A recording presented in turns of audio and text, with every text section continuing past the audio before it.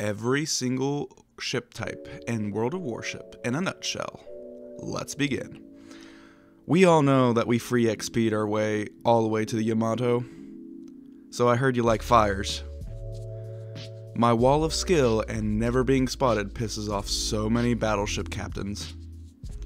So you thought Japanese didn't have good guns? Well, you were wrong. Wargaming missed an opportunity to have kamikazes. Think how many people would riot if that would be a, a thing. Why don't I move? Remember when the Cleveland was at tier 6? Good times. So I heard you like citadels.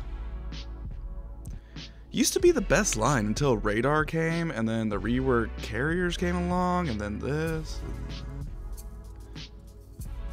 Why do we have two premium tier 8 carriers?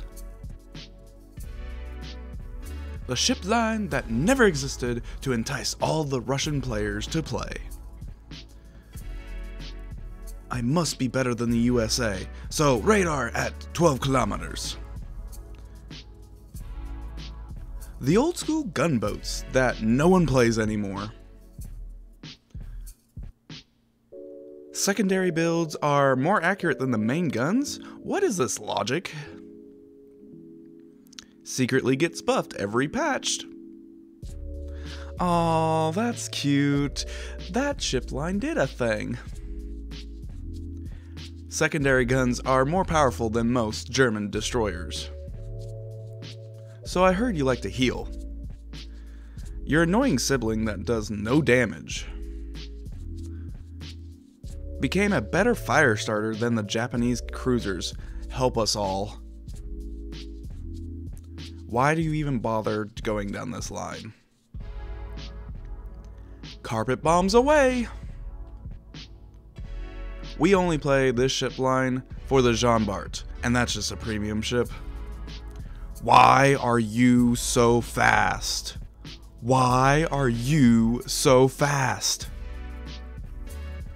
The tier 9 is still way better than the tier 10. They're all just heavy cruisers, just don't tell Wargaming that. Stop firing your guns in your smokescreen. That is not what your smokescreen does. so I heard you like Swedish things. Just put me with the European tech tree. Hopefully, you guys enjoyed the nutshell of World of Warships. Please feel free to subscribe, leave a comment down below, and let me know what you want to see next. Thanks, bye bye.